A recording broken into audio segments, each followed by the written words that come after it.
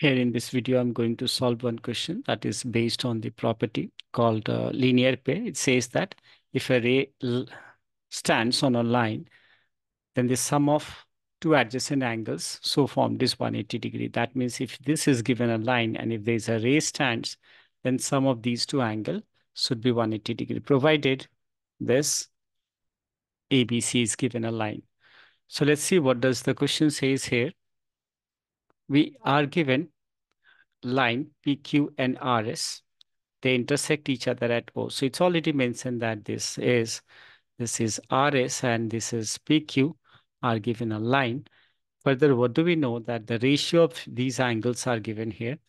We are given this ratio, as you can see it is angle POR, right, this angle, and angle ROQ.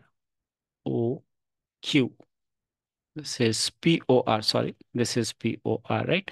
PORN, this is ROQ. The ratio is given.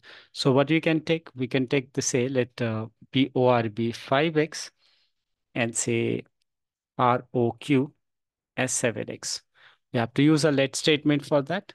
That is let angle POR is equal to 5x and angle ROQ is equal to 7x, right?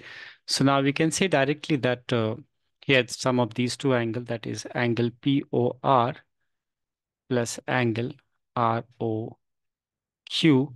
is equal to 180 degree. And this is what the reason you will give, that is linear pair. Now I can replace this POR with 5x and ROQ with 7x that is equal to 180 degree. This is 12x is equal to 180 degree. On transposing, we'll get x is equal to 180 over 12. That should be 15 degree.